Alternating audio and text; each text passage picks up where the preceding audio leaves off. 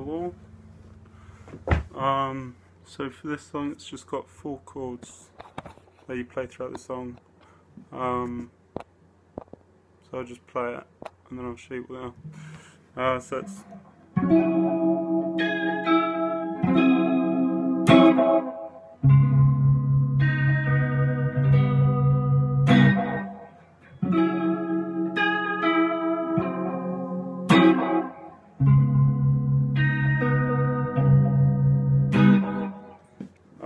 so basically chords are that's up on the ninth fret. So root notes on the A string on the of the uh, A string. And then you just bar across. Uh,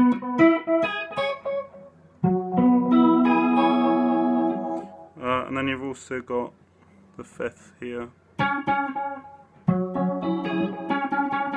That's on the 11th fret of the D string.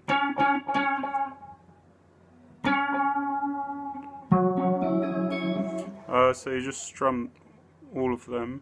And then you play the B string. And then the G string.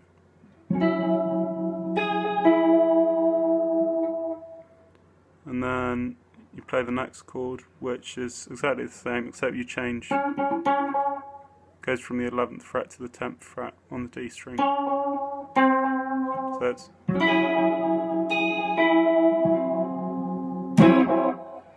and then you do exactly the same except it's on the 4th fret so it's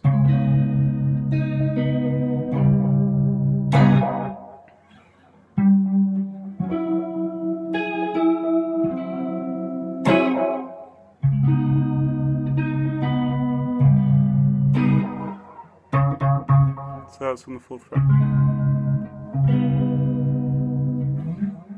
And yeah, that's uh, the song.